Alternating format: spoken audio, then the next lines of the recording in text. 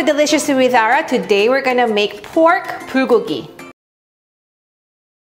As probably you've been to like Korean um, restaurants or Korean barbecue places, di ba, ang dami na ngayon ang naghahanap ng Korean pork bulgogi. So basically, pork bulgogi is chili-based um, spicy sauce na parang we add a lot of fruits and vegetables like onions, garlic, ginger, apple, and pear base as a sweetness. That's a traditional way of making it.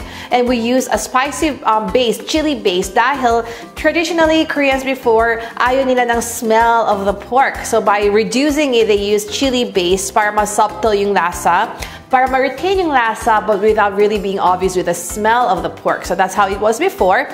Of course, you know, the way the recipe is very um, easy and complicated at both times, but gladly right now, we can go to Korean groceries and just grab a bottle of a ready-made, um, perfectly authentic, full um, flavor balanced bottle like this, a pork bulgogi mix, and you just have to grab your pork, Actually, this is a very thinly, um, thinly sliced pork. Um, it's around 2 millimeters or kabil lesser na parang ginagamit for shabu-shabu.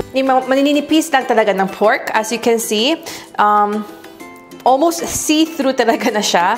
Like this thinly strips of pork is what we use for bulgogi because bulgogi basically means um, pool fire kogi meat. So dapat kailangan madali talaga lang siyang maluto.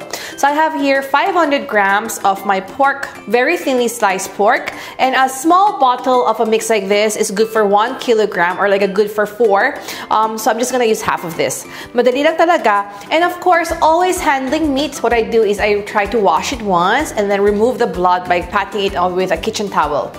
So I have here a kitchen towel. What I do is fold ko lang. And after washing my pork, I'm just gonna pat, pat, pat like this. Just to remove an excess, you know, whatever oil or whatever like blood clots it may have dahil yan yung nagpapabaho sa ating karne when not properly handled. And also, when you're gonna do like mixes like this para ibaba nyo for marinade, it's always better without the blood as much as possible. Because I'm using a, a bottled marinade like this, I'm just gonna have to mix it up before adding into my pork. And then let's just use like half of this. And haluin natin siya ng haluin. And actually, we don't have to add anything else because as the bottle itself is already mixed up with all the authentic flavors, it's already good to be cooked na. The best is really to keep your pork in the marinade for overnight, but at least like an hour would be most recommended. And while I'm waiting for my pork to a little bit sumisip ng lasa ng ating marinade, I'm gonna already prepare my vegetables. Actually, uh, the vegetables are just to really pop up the color of my pork rather than for flavors. So I'm just gonna use half of my onion and a little bit of my carrots and a little bit of my leeks And you can actually also add cabbage, pero konting-konti lang. So probably just like, you know, a handful, a hand size of it para lang magkaroon ng konting vegetable color, greenness ang ating pork.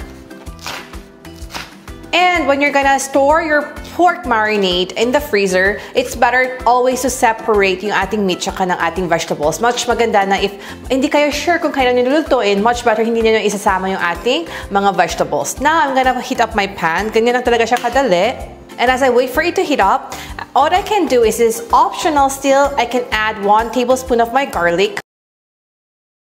Actually, in the marinade, my garlic na talaga siya, but I just want to have additional, like extra garlic flavor on my pork. So, ihalo ko lang ng isa pang beses before I cook it. So now my caldera is hot na. Um, I would suggest you to use a non-stick pan. However, kung wala kayo non-stick pan, what you can do is um, sizzle your pan with the cooking oil and punasan nyo with a kitchen towel before you use it para medyo magiging non-stick somehow. Now, because my pot is ready, I'm gonna already put in my mixed marinated pork. And don't forget na kailangan ilusan ninyo up or else didikit-dikit talaga sa magiging isang malaking meatball. And I'm gonna sprinkle a little bit of pepper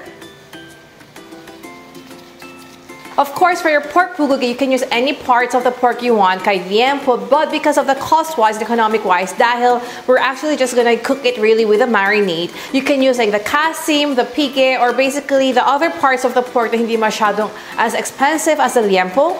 And good thing not to actually use liempo or else it's gonna be very fatty. And it's still your personal preference kung gusto talaga niya medyo mataba or you want a leaner cut. So it's really up to you as long as it's medyo manipis lang talaga ang ating pork. And then let's add in our onions. So for the pork, I want it like charred, na super talaga lutong-luto because it gives like parang the aroma of being barbecued. And now I'm gonna add in my vegetables because basically my vegetables is just for the added color. So you can either opt not to or you want to. So I'm gonna add in my cabbage, my carrots, and my leeks. And we just give a last toss before we serve it. I actually want my pork na super cooked na before I add in my vegetables because ayoko yung malatang mga gulay when it comes to like meat dishes. So I want it medyo parang my vegetables are very alive with its colors vibrant. And the pork, if it gives a parang medyo konting sunog, the charred, it gives an extra layer of flavor. So now my pork and vegetables cooked, it's ready for serving already. Must try recipe!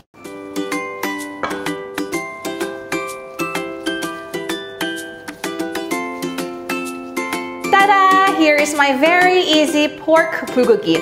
It's a little bit of a spicy, but it has the perfect flavor of the sweetness and I'm pretty sure that your family is gonna enjoy for your Korean barbecue nights. So hope you enjoy my recipe. See you next time. Don't forget to like and subscribe. Bye!